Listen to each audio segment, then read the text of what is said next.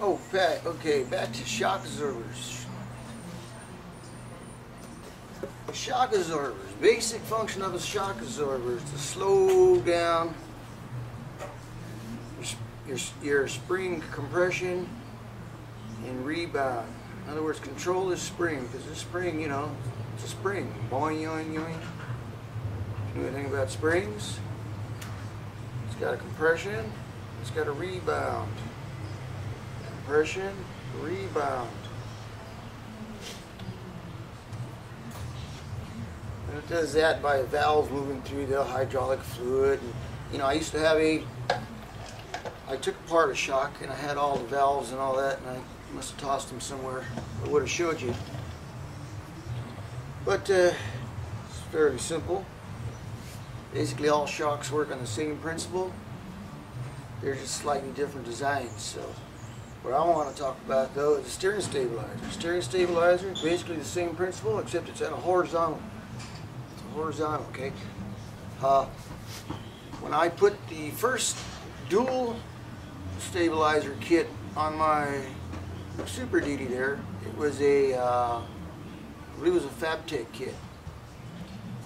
And uh, a lot of my friends, uh, the ones don't know nothing about nothing, were like, what are those for? How does that work? What do they do? You know, it's steering stabilizer, you know? So, let me see if I can explain in detail exactly how these things work. See if I don't leave anything out. Ooh, it's awfully hot right here. Alright, basically the steering stabilizer is dampening. In other words, it's it's controlling the horizontal movement of your steering linkage and your wheels here. Okay? It's clamped onto the tie rod and most of the time it's clamped on to the axle. So the axle is holding one end and the moving part on your tie rod is holding the other end. And that's damping any forces that are coming out of your wheels as you're rolling down the road. Um, I don't know how many of you have had the uh, wheel snap out of your hand when you're off-roading. You know what that's like? It's like, oh, hit something hard, so I want to turn your wheels. Well, little bumps do the same thing, okay? And these big trucks, even your factory tire is pretty heavy. Now this tire here, I think is over 100 pounds, and then you got the wheel on there, and then you spin this thing, it's a giant gyroscope. I don't know how many of you know what a gyroscope is, you know, go back to junior high school science class. uh, so this, this is just aiding and controlling all that horizontal movement in your wheels here. Okay? Slow it down, smooth it out, take some of the load off your steering links, off your steering box, all the way up to your steering wheel. Get your steering box up here. This is your uh, pitman arm coming off the steering box. It's got this link that goes across over to your steering knuckle. This is the uh,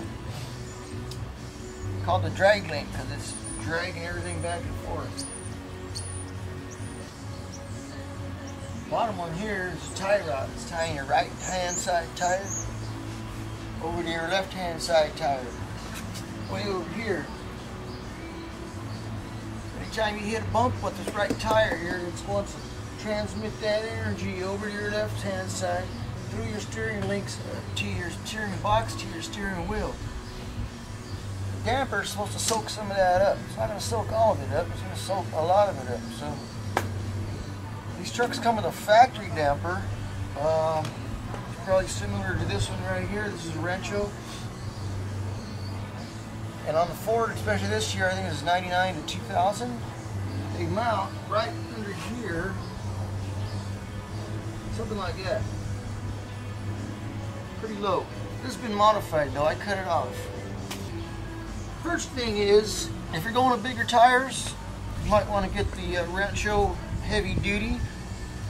and uh, mount it on the factory location. It's a little bigger than the factory, stock factory one, so that's one way to go. If you're running really big, big tires, you might want to go with a dual setup.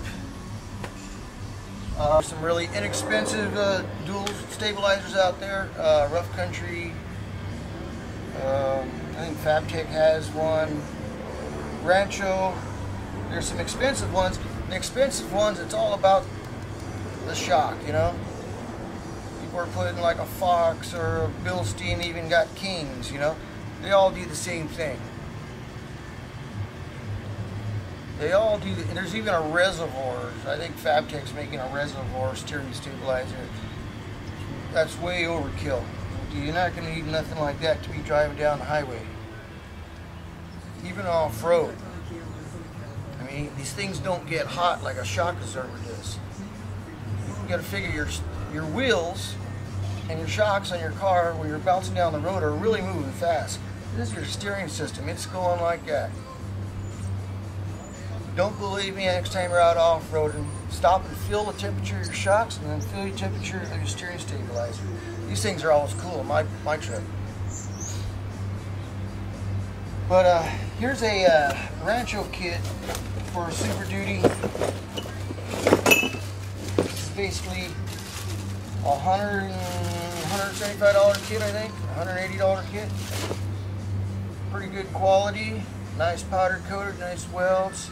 This is your center section here that ties onto the axle with some U-bolts. Um, it's actually going to go like that. One there.